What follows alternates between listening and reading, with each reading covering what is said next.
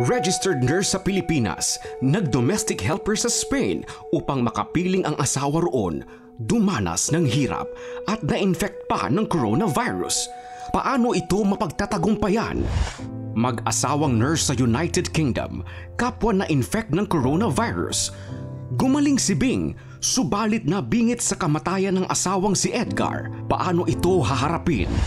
Mula sa sitwasyon ng kawalan ng pag-asa, nagtagumpay sa huli. Paano ito nangyari? Alamin sa The 700 Club Asia, lunes sa GMA, alas 12 ng gabi.